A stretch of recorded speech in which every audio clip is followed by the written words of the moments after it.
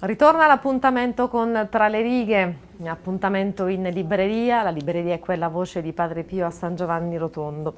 Come nostra abitudine partiamo con un libro dedicato al santo di Pietrelcina, questa volta proprio riguarda la sua eh, vita, la sua spiritualità, infatti il nuovo profilo biografico aggiornato firmato da Stefano Campanella intitolato semplicemente Padre Pio, il cammino di un santo. Voglio leggervi un passaggio mh, mm, nella uh, presentazione di Padre Franco Moscone a proposito mm, dell'importanza ecco, di poter avere tra le mani un libro come questo, perché come scrive il Padre Arcivescovo, dentro una vasta produzione letteraria e cinematografica diventa difficile orientarsi rischiando di perdere tempo. Per chi come me ha bisogno di raggiungere una corretta informazione e formazione su Padre Pio e non possiede molto tempo, avere a disposizione materiale corretto e scientifico, tanto sotto il profilo storico che spirituale, diventa un'esigenza. Il lavoro che qui presento fa sicuro parte di questo gruppo di pubblicazioni. Alla personale esigenza formativa aggiungo che l'interesse che giustifica la pubblicazione di un ennesimo volume è anche dovuto al fatto che per un grande testimone della fede non è stata né può essere scritta una volta per tutte una biografia. La biblioteca Padre Pio è paragonabile ad uno splendido mosaico, dice padre Franco Moscone, che si arricchisce di sempre nuove tessere ricavate dal paziente lavoro di indagine storica, svolto da quanti si sforzano di ripulire la sua fulgida figura dalle incrostazioni leggendarie, che con facilità si accavallano sopra una sterminata e non sempre attendibile eh, pubblicistica.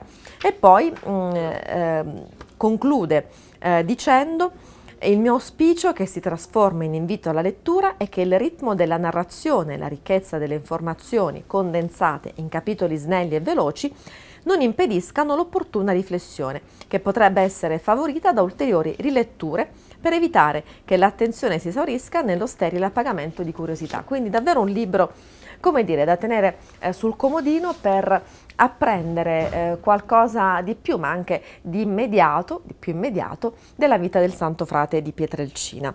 Padre Pio, il cammino di un santo, nuovo profilo aggiornato, nuovo profilo biografico aggiornato, firmato da Stefano Campanella. Parliamo adesso di un libro mh, mm, che racconta la storia, raggruppa anche le preghiere della devozione mariana amata da Papa Francesco, edito dalla San Paolo Maria che scioglie i nodi. Maria cammina con delicatezza e tenerezza di madre, si fa ospitare nella vita familiare, scioglie tutti i nodi dei tanti guai che riusciamo a generare e ci insegna a restare in piedi in mezzo alle tempeste. Parola questa, parole di Papa Francesco. Perché ehm, Maria che scioglie i nodi? Perché ogni vita ha i suoi nodi, ciascuno ha i propri nodi eh, che spesso anche si ripetono, si ripropongono in forme rinnovate, possono essere rapporti magari familiari che si annodano in maniera da renderci incapaci di districarci, che sembrano impedire non solo noi ma anche agli altri quelli che per sangue e relazioni dovremmo avere più cari. Può trattarsi di un semplice litigio non risolto, incattivito dal tempo, forse tra fratelli e sorelle, di un'incomprensione tra genitori e figli, questi sono alcuni nodi. Altre volte sono come matasse di fili che sembrano aver perso in noi capo e coda, ansie che ci portiamo nel cuore come macigni e che giungono a renderci depressi, angosciati, feriti e in molti modi mh, mm, feriti anche nel cuore. Anche qui le ragioni possono essere varie. Poi ci sono i nodi che vengono dalla storia dei nostri cari, magari amici intimi, se non parenti stretti, nomi che hanno nomi terribili, che feriscono ancora a distanza di anni, vicende di droga, di gioco, di tradimento, di alcolismo, ma anche storie di malattie, di perdite improvvise. Infine ci sono i nodi dei nostri peccati, degli egoismi, dei vizi. Non occorre proseguire oltre. Ciascuno sa che cosa lo affligge, ciascuno ha i suoi personalissimi intrighi da sciogliere. Si tratta di non negarli, ma di accettare la loro presenza, di riconoscerli. Questo è il primo passo. Se non riconosciamo di avere un problema, una personalissima ferita, se pensiamo che alcune cose si risolvano e si sciolgano da sé, non andremo lontano. Saremo come i bambini che per liberare una fune aggrovigliata peggiorano la situazione. Quindi ehm, in questo libro mh, mm, troveremo le preghiere eh, appunto anche il racconto dell'origine della diffusione eh, di questa eh, preghiera di Maria che scioglie i nodi e poi appunto anche come poter recitare eh, la novena di questa bellissima preghiera tanto cara a Papa Francesco proprio per sciogliere i nodi che, come dire, ritroviamo nelle vite e nelle esistenze di ciascuno di noi. Edito dalla San Paolo, Maria che scioglie i nodi, la storia e le preghiere della devozione mariana amata da Papa Francesco. E per la San Paolo, Vittorio Cigoli e Maria Luisa Gennari, due esperti, eh, due psicologi e psicoterapeuti eh, che insegnano anche psicologia clinica presso l'Università Cattolica di Milano, per la San Paolo firmano questo libro intitolato Quando non è per sempre. Beh, la copertina con l'immagine di questo bambino molto piccolo con un ossetto peluche in mano e vediamo due adulti, si riconoscono, sicur sicuramente un padre e una madre, che tirano una sciarpa. In questo libro eh, si, può, eh, si racconta di quello che succede ad un bambino quando i genitori decidono di separarsi, decidono di mettere fine alla loro storia. E come si legge ehm, nelle pagine appunto di questo libro, si può smettere di essere una coppia ma non si può smettere di essere eh, genitori. Eh, come dire, eh, si trovano davvero eh, spunti di riflessione molto interessanti, sicuramente eh, rivolti al, all'essere genitori nella separazione, ma magari sono anche ecco, come dire, mm, spunti per assistenti sociali o per coloro i quali devono affiancare la coppia nel momento della separazione. E, mh, mm, vengono riportate anche delle storie realmente mh, mm, accadute e, mh, in cui come dire, ci si pone nei confronti di questa coppia anche per riflettere e per eh, rendersi conto di come fare per affrontare un momento così difficile.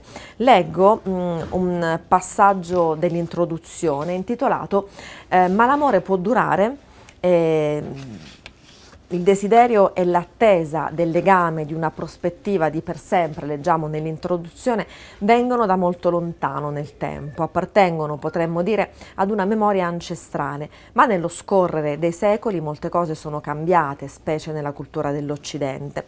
Nello scorrere del tempo anche il diritto alla scelta, specie in nome del diritto alla felicità individuale, si è espanso se il legame non mantiene le aspettative di bene è sempre possibile divorziare. Quello che a noi interessa è proprio questo, la diffusione del divorzio così come la frequente ricostruzione familiare e i suoi effetti sui figli, da vedere come generazione successiva. Intanto però per il valore attribuito al per sempre del legame di coppia andremo a vedere come la psicologia individua le fonti che rendono possibile anche quello che lo rendono impraticabile e quindi saranno così considerati le diverse modalità di affrontare il dolore originato dalla divisione del legame, che fatalmente coinvolgono le famiglie di origine, così come le amicizie, per finire a considerare che cosa 40 anni di ricerca sul tema ci offrono, sempre tenendo conto che non possiamo dividere il destino dei figli da quando le generazioni precedenti fanno o non fanno. Se guardiamo solo ai singoli individui non possiamo riconoscere il problema, che è essenzialmente relazionale. Di nuovo molto ci aiuteranno nuovi casi concreti, cioè le testimonianze di vita vissuta. Di Vittorio Cigoli e Maria Luisa Gennari, Quando non è per sempre, edito dalla San Paolo. Concludiamo con un ultimo libro firmato da Bruno Ferrero, eh, salesiano che si occupa di educazione e catechesi, che in questo libro racconta tante storie per comprendere il tesoro contenuto nella preghiera del Padre Nostro, dei Dieci Comandamenti e nella preghiera del Credo e delle Beatitudini. Ogni capitolo poi si chiude con eh, delle sezioni di sintesi, preghiera e riflessione. Ehm, le perle della fede in tante piccole storie, edito da Il Sicomoro, appunto firmato da Bruno Ferrero. Leggiamo una storia che non è molto lunga, venga il tuo regno una scelta di classe. Se non me lo lasci fare non potrò andare a scuola, mi vergognerei troppo, è terribilmente importante mamma. Adriana scoppiò a piangere, era la sua arma più efficace. Uffa, fa come vuoi, brontolò la madre, sbattendo il cucchiaio sul lavello. Sembrerai un mostro, peggio per te. In altre 23 famiglie stava avvenendo una scenetta più o meno simile. Erano i ragazzi della seconda B della scuola media Carlo Alberto di Savoia. Per quel giorno avevano preso una decisione importante, ma gli allievi della seconda B erano 25. In effetti, solo nella venticinquesima famiglia le cose stavano andando in modo diverso.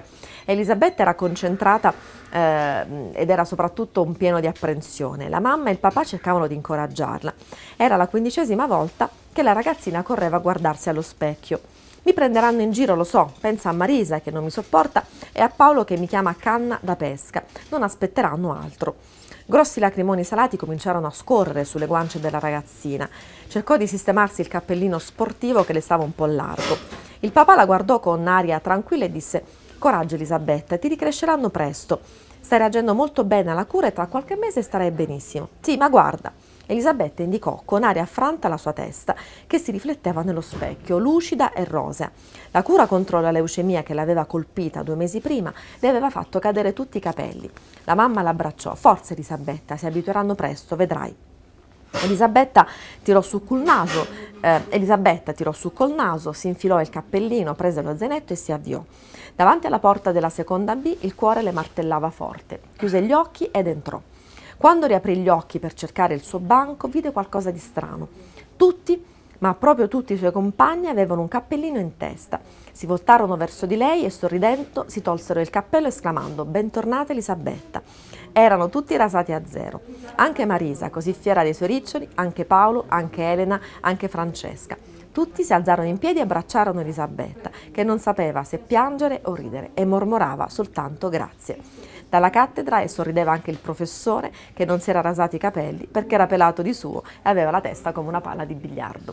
Davvero bellissima, questa è una delle tante storie riportate in questo libro edito dal Sicomoro di Bruno Ferrero, Le perle della fede, in tante piccole storie. Con questo libro concludiamo questo appuntamento dedicato alla lettura, tra le righe tornerà come sempre la prossima settimana.